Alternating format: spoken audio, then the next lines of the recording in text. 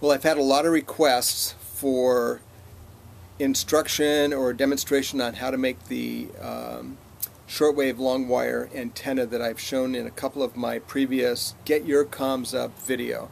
And that is the topic of this Get Your Comms Up video. And before I get going on that, let me just apologize for the ambient noise. It's just a nice day today here in the Northwest, and rather than being inside, I don't want to waste a nice day, so I thought I would. Uh, I thought I'd come outside. I think what I'll do is I'll I'll start this video outside for the discussion part, and then I'll take the camera inside where it's a little bit more quiet because I want to do a down camera video going over how to build this uh, antenna. So it'll be a little bit longer video, but hopefully uh, useful.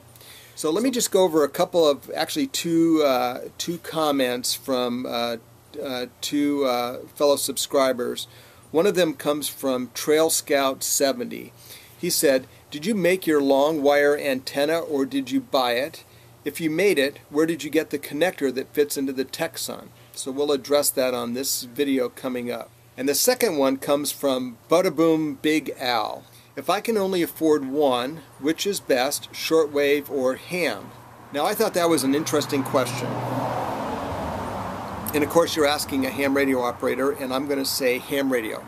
Um, everything that I am showing you with shortwave can be done with ham radio. And you might say, why do both?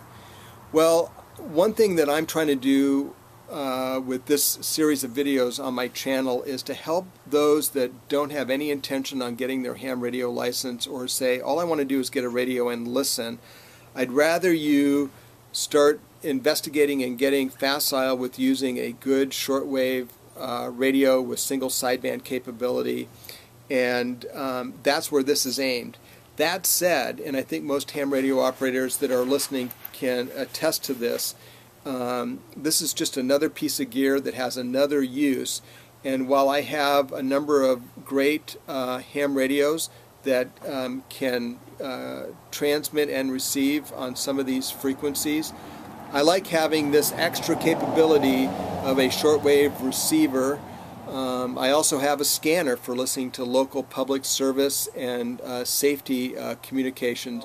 They each have their place, they each have their use and uh, having a good shortwave uh, receiver with single sideband capability certainly augments your ham radio gear and at the bare minimum it should be the very first step for someone who's interested in adding communications to their preparedness skill set. So this is uh, another one of our little zip bags from um, AMP3 and you don't need to get one of these bags.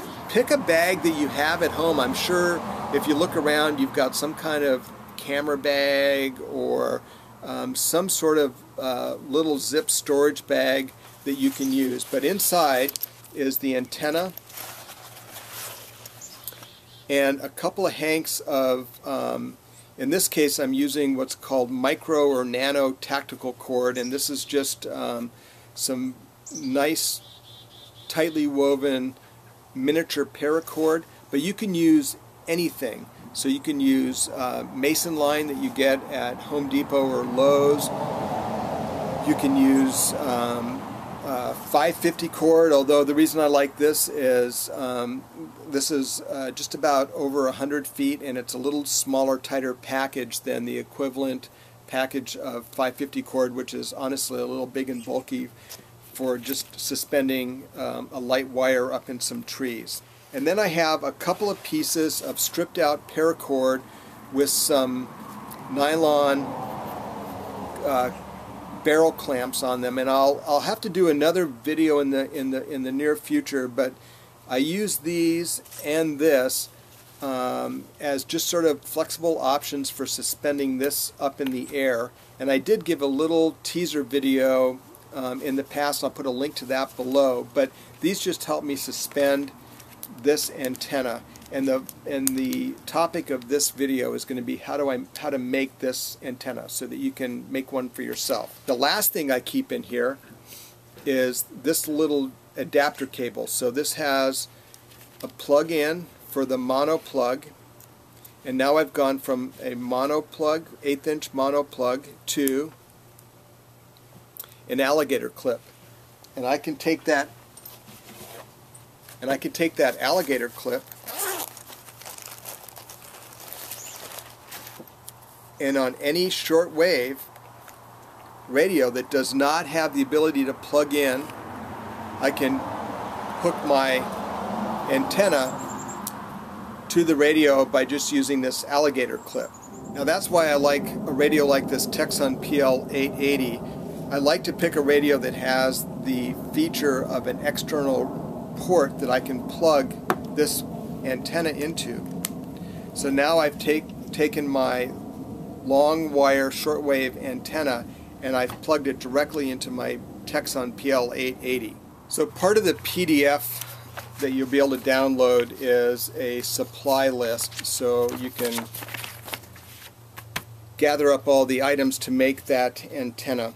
Now you don't need to go through this exercise of making this antenna. You can actually just take any random length of wire, the longer the better, and you can just strip off the insulation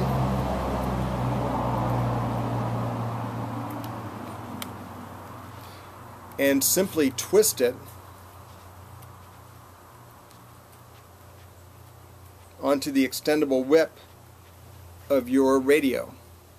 Now if you get serious about this and you enjoy the capability that this provides, you'll soon find that this gets a little tiresome and you'll appreciate having a nice pre-made long wire antenna that you can use anytime either simply plugging in or clipping onto the end of your antenna.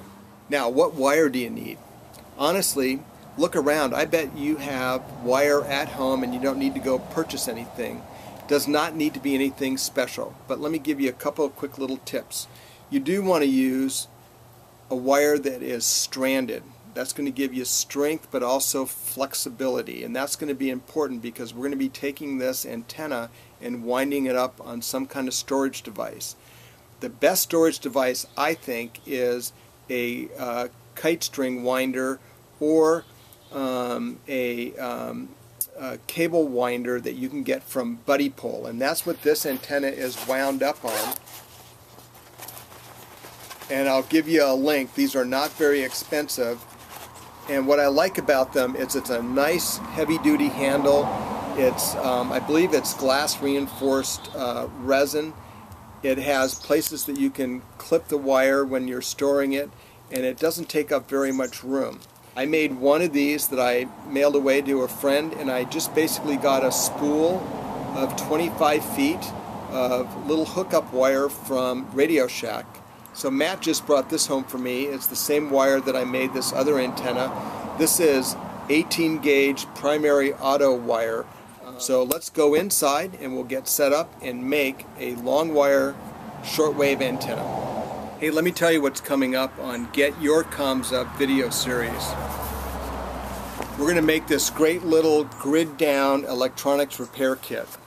Now there's a lot of things you could put in a kit like this, but they would make it bigger and bulkier. This is a nice small kit that's easy to carry. You can throw it in a go bag or in a vehicle. It doesn't take up much room but gives you a lot of capability. Stay tuned. We're going to be making one of these kits on an upcoming Get Your Comms Up video.